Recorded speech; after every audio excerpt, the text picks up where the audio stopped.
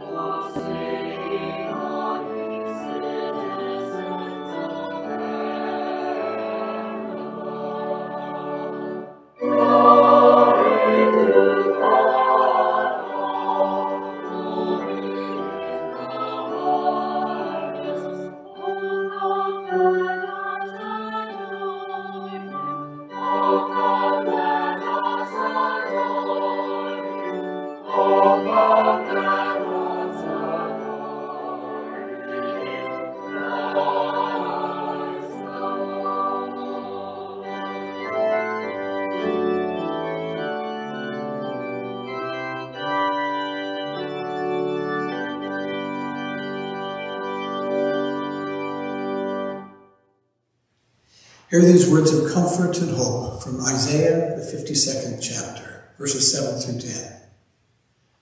How beautiful upon the mountains are the feet of the messenger who announces peace, who brings good news, who announces salvation, who says to Zion, Your God reigns. Listen, your sentinels lift up their voices. Together they sing for joy. For in the plain sight they will see the return of the Lord to Zion. Break forth together into singing, you ruins of Jerusalem, for the Lord has comforted his people. He has redeemed Jerusalem. The Lord has bared his holy arm before the eyes of all the nations, and all the ends of the earth shall see the salvation of our God.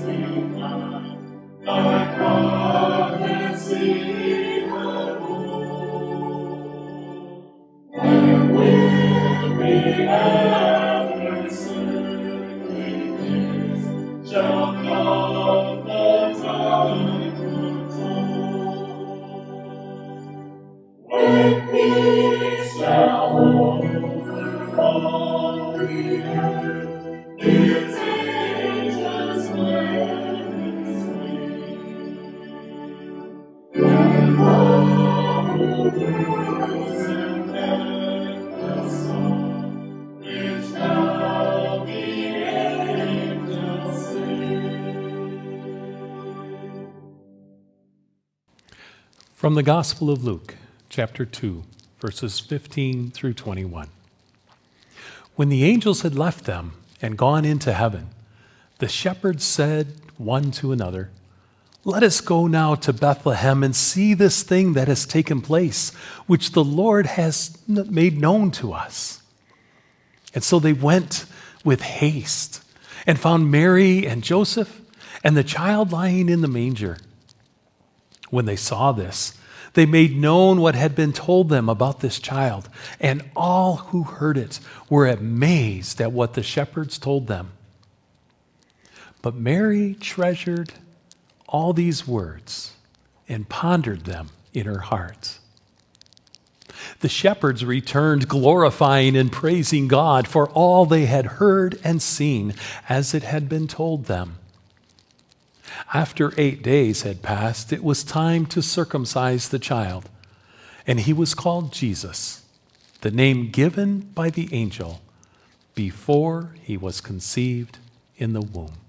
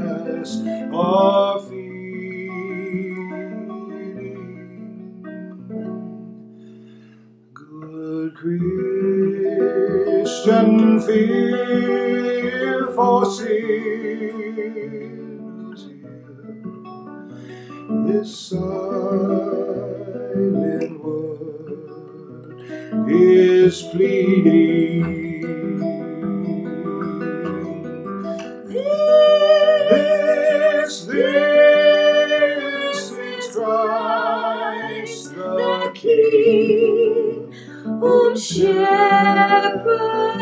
guard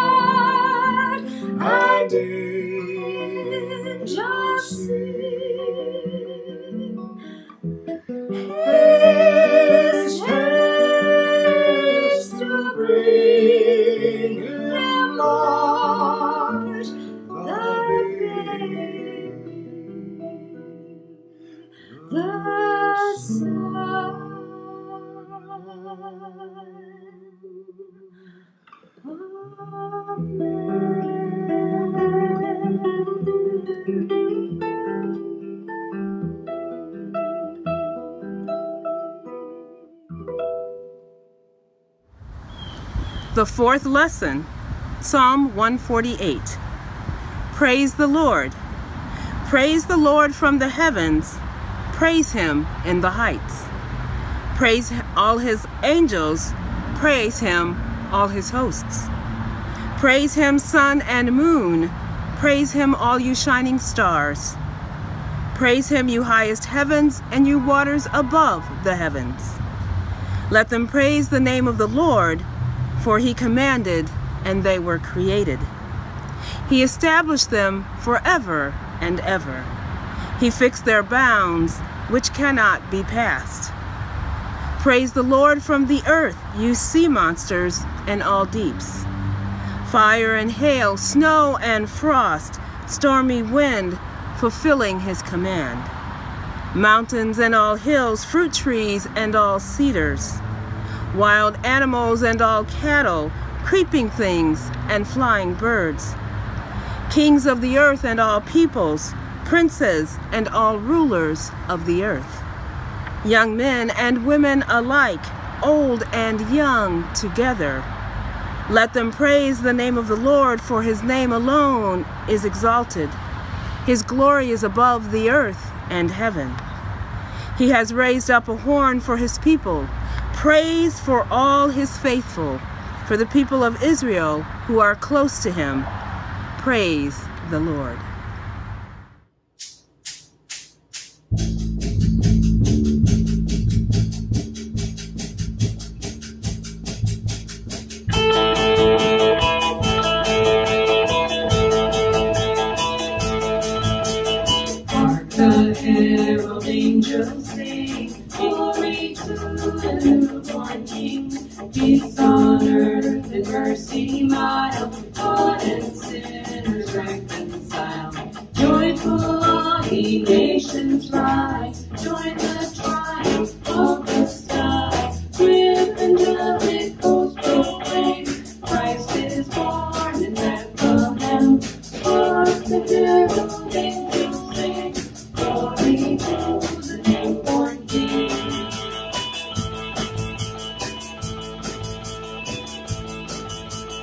Hail the dead, for Prince of Peace. Righteousness. And all we bring. Risen with healing in His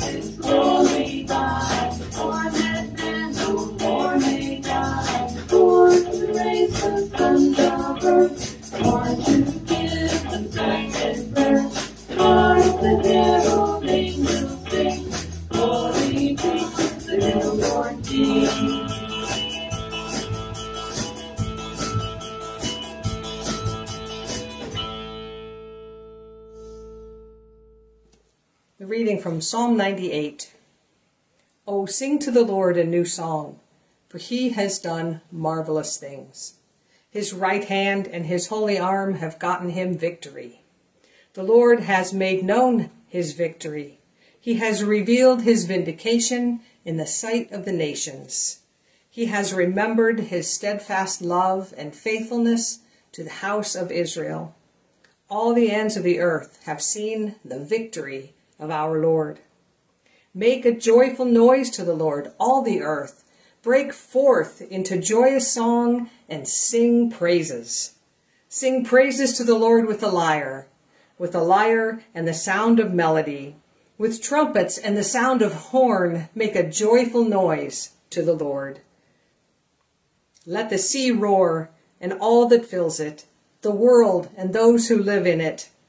Let the floods clap their hands. Let the hills sing together for joy at the presence of the Lord, for he is coming to judge the earth. He will judge the world with righteousness and the people with equity. One, two, three, four.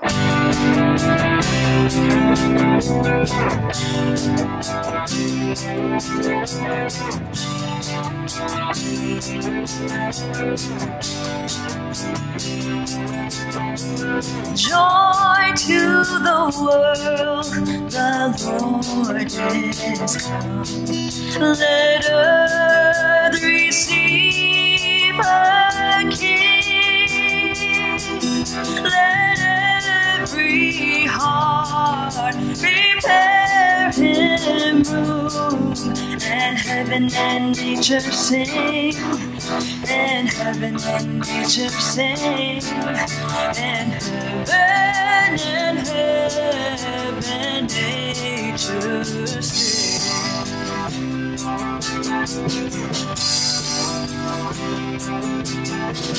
Joy to the world, the Savior reigns. Let all their songs employ, while fields and floods, rocks, hills and plains, repeat the sounding joy, repeat the sounding joy, repeat, repeat the sounding joy.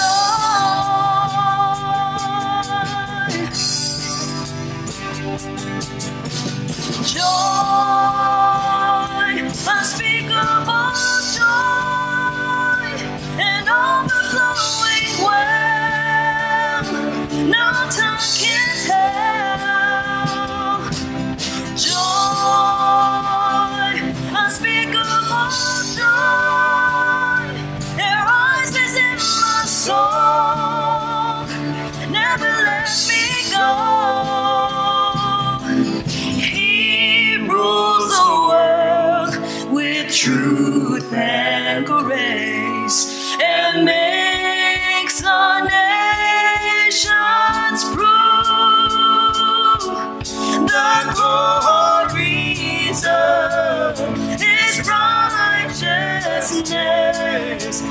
wonders of his love and wonders of his love and wonders, wonders of his love.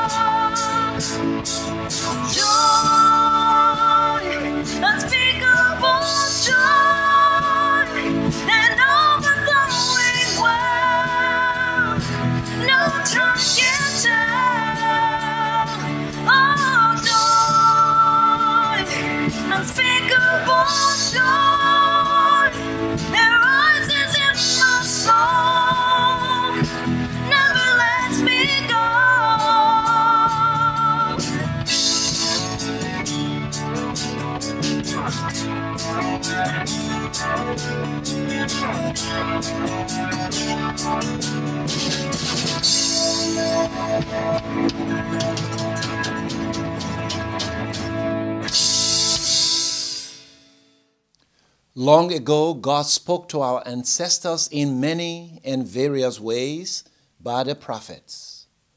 But in these days, He has spoken to us by a Son, whom He appointed heir of all things, through whom He also created the worlds.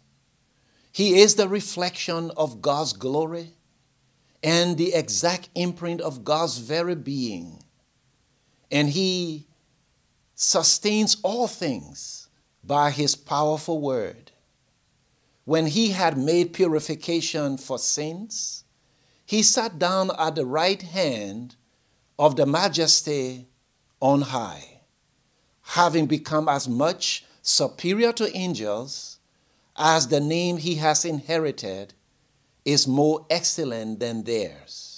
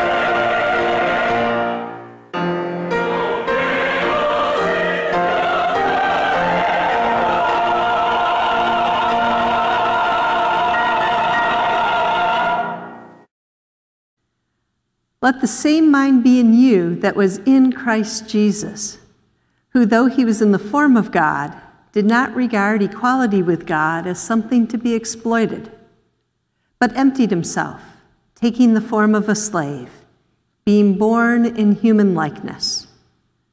And being found in human form, he humbled himself and became obedient to the point of death, even death on a cross. Therefore, God also highly exalted him and gave him the name that is above every name, so that at the name of Jesus every knee should bend in heaven and on earth and under the earth, and every tongue should confess that Jesus Christ is Lord, to the glory of God the Father.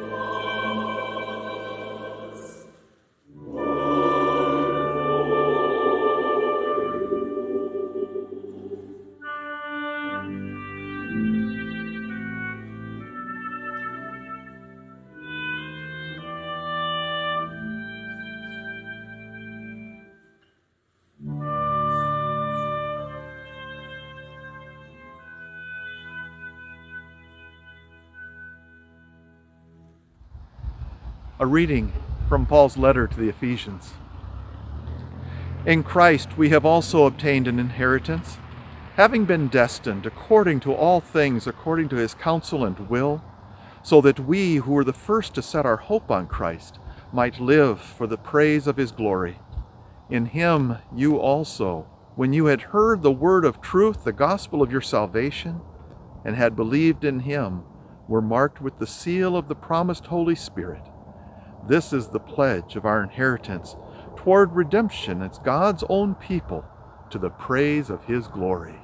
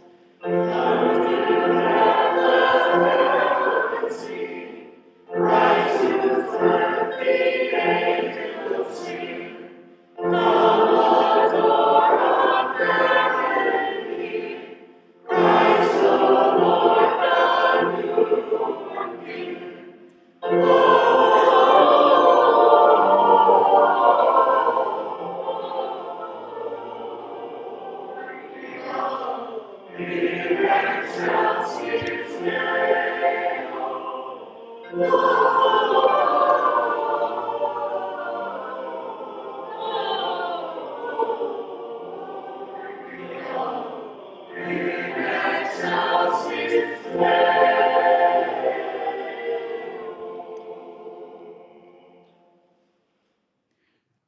every year, his parents went to Jerusalem for the festival of the Passover.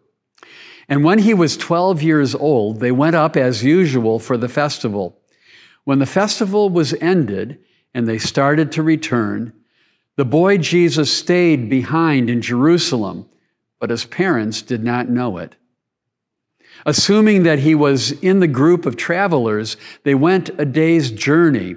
Then they started to look for him among their relatives and friends. When they did not find him, they returned to Jerusalem to search for him. After three days, they found him in the temple, sitting among the teachers, listening to them and asking them questions. And all who heard him were amazed at his understanding and his answers. When his parents saw him, they were astonished. And his mother said to him, Child, why have you treated us like this? Look, your father and I have been searching for you in great anxiety. And he said to them, Why were you searching for me? Did you not know that I must be in my father's house?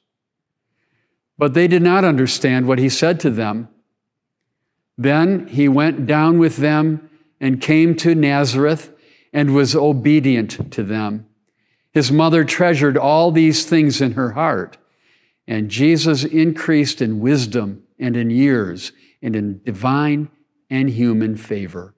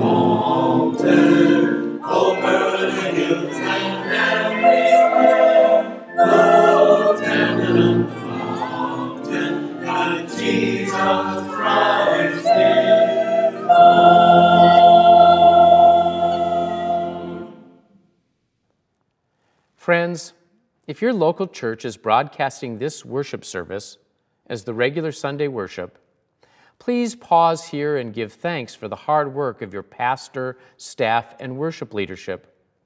I hope they were able to enjoy some extra time with their families today. And if this is your local church worship service, I trust you will continue to support your congregation through your gifts and offerings. If you're not a part of a congregation but have worshiped with us today, we're so glad you did. I hope you will connect with a local United Methodist Church. We'd be delighted to meet you. You can find a nearby United Methodist Church here in Michigan on our website, michiganumc.org. While you're there, I hope you might consider making a gift to the Bishop's Advent Appeal. All monies collected through this offering will go toward disaster relief here in Michigan, throughout the country, and all over the world. Thank you. Now may the love that came down at Christmas, God's love, warm your heart, enliven your mind, encourage your soul. May God's love meet you at the intersection of your hopes and fears to increase your hope and give you both courage and peace. Merry Christmas, blessed New Year, all in the name of Jesus Christ.